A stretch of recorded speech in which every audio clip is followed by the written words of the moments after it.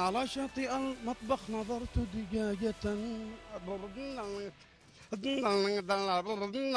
كثيرة اللحم وريش مدندل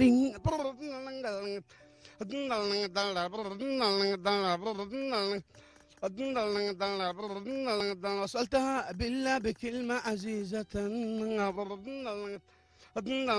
أرجوك يا دجاجة من فضلك تكلمي.